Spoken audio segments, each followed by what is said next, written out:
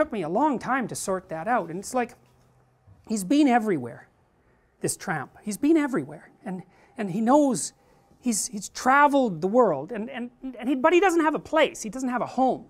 He, he hasn't made a relationship with anything real yet. He's he's kind of a potential and this is one of the things that's really interesting about this movie because if you think about the cricket as a fragment of the of the hero and say a, a reflection of the of the Savior, which is his relationship with JC, of course, and the person who introduces the book, then the, the story gets strange because if it was merely a representation of the perfect person, the archetype of the hero, then the conscience would know everything, right? And it would just tell the puppet what to do, and that would be the end of it.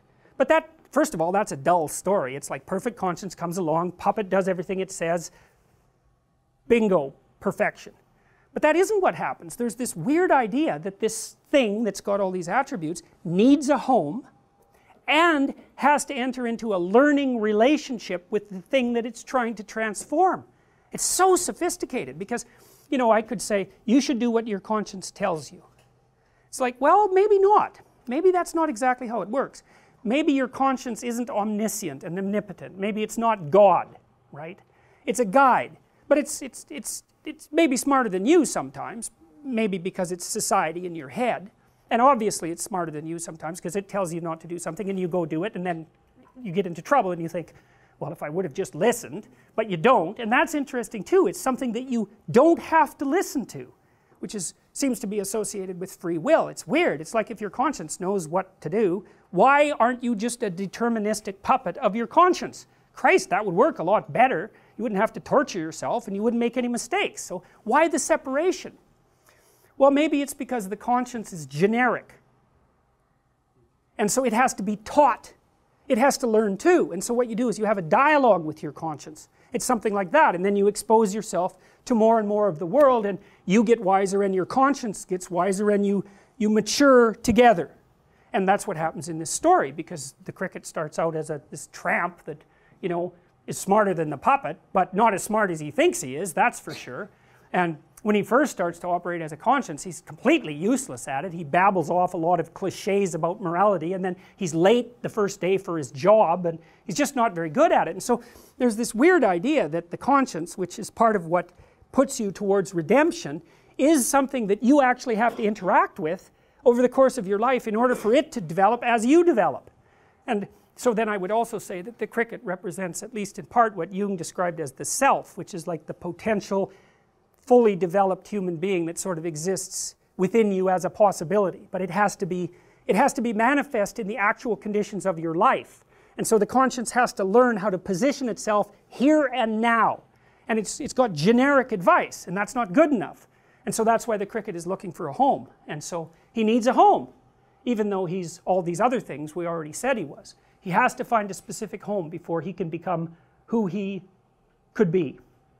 Well, so then Geppetto shows up and he's a kindly old guy, which is pretty much exactly what you'd expect. And, you know, he, he's a careful craftsman and he likes kittens and, you know, that's always a good thing.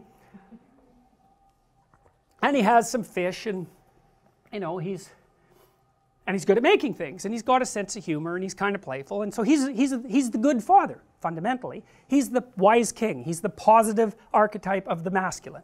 And that's what he is. And so he's culture in its positive manifestation. And he gives rise to this creation, which is his puppet, which is what culture does, because you're a puppet of your culture. You're a marionette of your culture. And so maybe you could be more than that. And that's the other thing that's strange about this movie, and it's strange about the mythological way of looking at the world, because scientifically, deterministically, there's nature, and there's culture. And you are the deterministic product of the interaction between nature and culture. There's nothing else to you than that. That's that. But the mythological world doesn't say that. It says something different. It says that there's nature and culture, and then there's you. And the you that's in there has choices and a destiny, and that you actually affect the interplay of nature and culture in determining your own character. And it insists upon that. The oldest stories we have, there's always the hero and the uh, archetypal mother and the archetypal father. There's always those three things. There's never just two. So from the narrative perspective, there's always the implication that there's something autonomous about the, the hero of the story. And, you know, you can't account for that. We don't have a good way of accounting that for that from a scientific perspective. I was having a discussion with Sam Harris the other day, which was very, um, what would you say? He said we got wrapped around an axle, which is pretty much, Sam Harris is one of the four famous, you know, atheists, along with Christopher Hitchens and Richard Dawkins and uh, Dan Dennett, yeah. And so we were having a discussion, and um, he's a determinist, just right down to the bottom. It's like you're determined, you're determined, there's no free will. You're a deterministic machine. And you know, if you're a coherent scientist and you're a Newtonian, roughly speaking, you don't really have much choice other than to think that way, but that isn't how it seems to people. And we don't treat each other that way. And our entire legal system is predicated on the idea that you do in fact have free will. So, well, can we account for it? Well, no. And do we have a scientific model for it? No. But then I would also say we do not have a scientific model for consciousness. We don't know a damn thing about consciousness, which is why Dan Dennett's book, which was called Consciousness Explained, was referred to its, by its critics as Consciousness Explained Away, which is exactly right as far as I'm concerned, because he took a mechanistic approach, and I just don't think you get to do that, because there's something really weird about consciousness. I mean, the, the phenomenologists like Heidegger, who tried to radically transform Western philosophy right from the bottom up, he basically said, well, you know, you can treat the world as if consciousness is primary and that human experience is reality. That's reality. And that it doesn't exist independently of consciousness in any explicable way. It's like, well, what's out there if there's nothing to, to experience it? Well, everything at once. It's something like that. It's, it's not really comprehensible as Without a subject, the subject defines it and makes it real. Now, you don't have to believe that, but, but at least I'm telling you that there are thoroughly coherent philosophical positions that make that case very strongly and that, that allow consciousness to exist as a phenomena and to take it seriously. And you certainly act like you take it seriously. You act like there's a you and that you make choices and you certainly treat other people that way deterministic or not, you're still going to get angry when they're being, you know, rude to you and you're going to act as if they had some choice in the matter. Now, maybe that's an illusion, possibly, but maybe it's not. And I would say the oldest stories that we have always include that as not only a fundamental element, but even as the fundamental element. So, well, so you can think about that however you want. But anyway, so Geppetto comes along and he's going to finish off the puppet. And so what does he do to finish off the puppet? He gives it a, he gives it a voice. He gives it a mouth. Well, that's really, really interesting. So in Genesis, in, in Genesis, this is, a, this is a very, very, very complex idea. And it, it took people thousands of years to figure this idea out. And it's something like this. So at the beginning of everything, there was chaos. And that was like potential. It was something like potential. The potential for being. And God, who's God the Father in the Genesis account, uses a faculty that he has, which is the Word, to call being from chaos.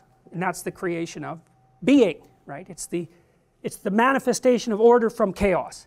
And it's the Word, the Logos, that it's, it's the Logos that's the tool that God uses to do that. And that Logos in Christianity is associated with Christ, which is a very weird thing. And but the reason for that is that there's an idea that the divine element of the individual is the thing that uses language, communicative language, to call the world into being.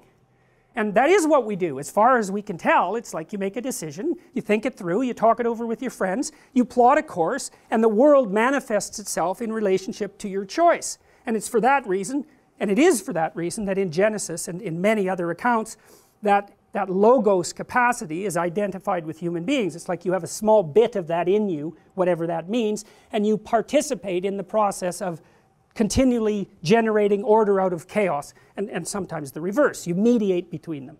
And so, and that, that in our, in, in, in Western culture, and, and it's, it's certainly the case in other cultures as well, that that's why you have rights, fundamentally. That's why the law has to respect you, is because you've got this spark of divinity in you that's transcendent that nobody gets to transgress against. And you say, well, do you believe that? It's like, well, you act like you believe it. you treat other people like you believe it, or they're not very happy with you. So it depends on what you mean by believe. You act it out. Well, do you accept it as a proposition? Well, I don't care if you accept it as a proposition, frankly, because I think the best indicator of what you believe is how you act, not what you say. Because what do you know about what you know? Hardly anything. And so actions speak louder than words. And if you want to be treated properly by someone, what that means is that you want to treat them, you want them to treat you as a valuable, autonomous entity. That's what you want. And so maybe you're not that. Maybe you're a deterministic puppet. And what this strange movie suggests is that you are kind of a deterministic puppet, but that you don't have to be. All right?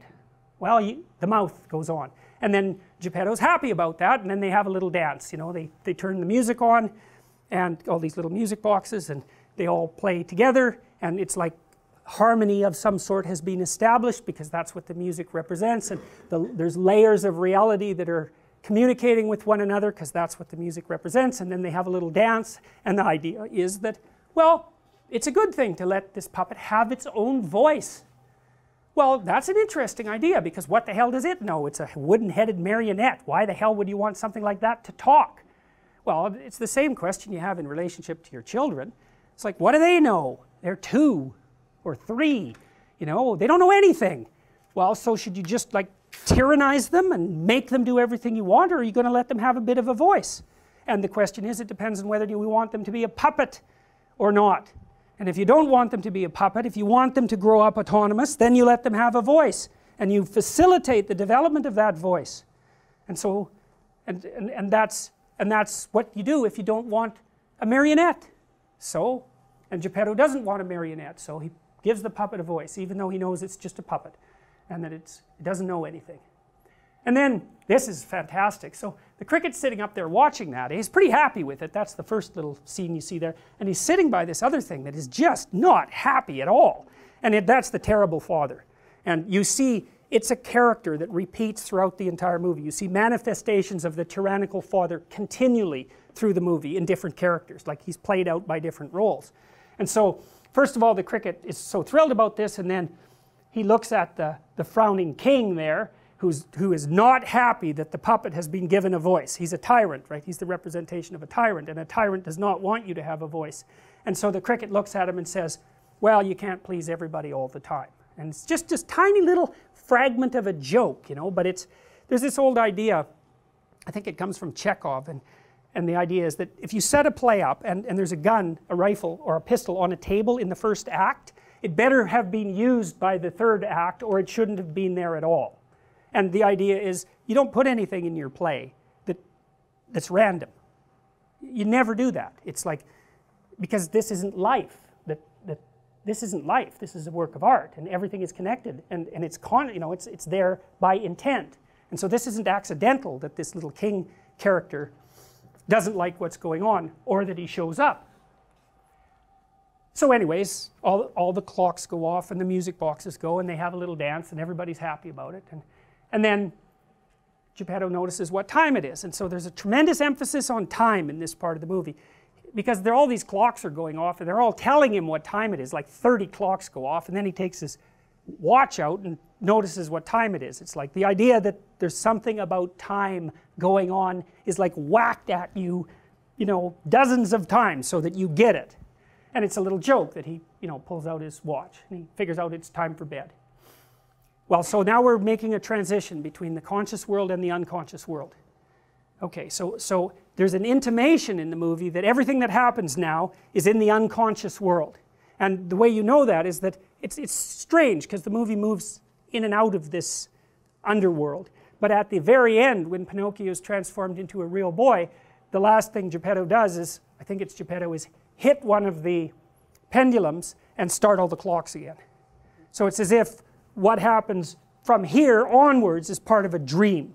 Now it's, it's murky because Pinocchio goes to school and you know there's the next day and all of that but and so those are sort of realistic elements but then there's also the whole going down into the ocean to find the whale thing which seems completely dreamlike and but there's an intimation that we're in a different kind of world and and so we go to they all go to sleep including the cricket and so then Geppetto notices the star.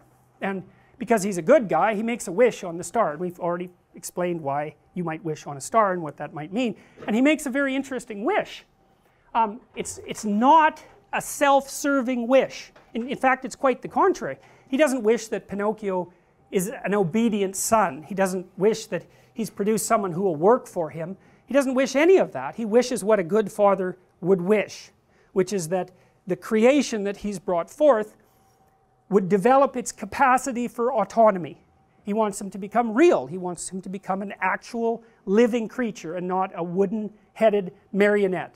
And so you'd say, well, that is what your father should wish for you, you know, and I have clients frequently whose fathers weren't like that at all. They were tyrannical or they were neglectful or, or they punished this, them, the person every time they did something good.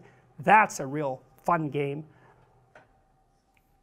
They competed with them and undermined them at every opportunity. They didn't want to produce someone strong and autonomous. They wanted to give birth to a slave and then diminish it as much as possible. And so that's bad. It's not good. And that's so Geppetto's not like that. So he says, Well, I'm going to wish for something completely unreasonable, which is that part of that ideal idea, right? And the unreasonable thing is that this puppet could become real, could actually take on its autonomy and, and move forward. And so that's what he wishes. And then they go to sleep. And then the cricket starts to become driven mad by the noises of the clock. And so it's like he's, he's going into this sort of state of hyper alertness. And the clocks are clanging at him, and Geppetto is snoring, and, and the, he can even hear the little grains of sand falling out of the, out of the hour, hourglass. He's becoming hyper alert, hyper alert. And then he yells, Stop! And all the clocks stop which is a pretty good trick for a cricket, you know. It's like he's the master of time, but also we're in a place now where time has come to a stop. We're outside of time. And one of the things that Freud pointed about dreams is that dreams are kind of outside of time. Now, here's what that means is, is first of all, they draw on eternal themes. That's part of it. But you know, you must have had this experience, and Freud noted this carefully in the interpretation of dreams, where you know, you're sleeping and the alarm goes off, and the alarm noise is incorporated into your dream, and it's like the dream has been going on for an hour in subjective time, and you wake up and you realize that it's the alarm clock. It's like, and there's no reason why your dream time should be the same as real time, because it's all going on in your imagination, but it's amazing in some sense how much can happen in such a short period of time in your imagination. And so it's outside of time. The world of fantasy is in some sense out of, outside of time. And so the cricket tells time to stop, and it does.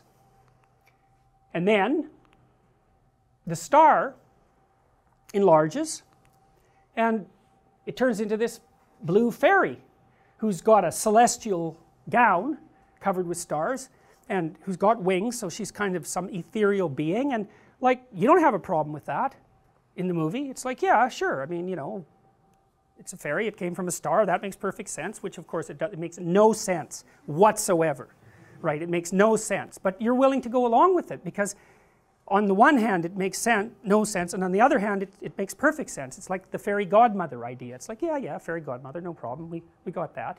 And, it's, and the idea there is that, well, nature comes to your aid. It's something like that. It's, it's, it's the, the benevolent force of nature is on your side. Now, not obviously only on your side, because it opposes you as well. But, and there's your own mother as well, who's also nature, who's on your side. And so but there's an idea here, and the idea is that if the father gets the wish right, the aim right for the child, then nature will cooperate. Right, and that's true. I believe that's true. Is that if you set up your relationship, your cultural relationship with your child properly, then they're far more likely to flourish. And so you get the magic of nature on your side by establishing the proper aim. And so that's what happens. Geppetto says, well, this is what I'm, this is what I'm aiming at, and because he's aiming at, at it, and because it's within the realm of possibility, nature comes to his service. And that is how it works. It, that's exactly how it works. Because when you aim at something, then you muster your biological forces towards that goal. And if the goal is feasible and attainable, then you will cooperate with yourself. And so that's quite cool. Carl Rogers would call that, what's the word for that? I think he called it genuineness, which is kind of weak. but, but I, think, I think that's still what he called it. He sort of meant that, well, that's sort of what happens when, you when your goals and your physiological and your, your biological being are aligned well. And, you're, and you can communicate both. You're not full of internal contradictions.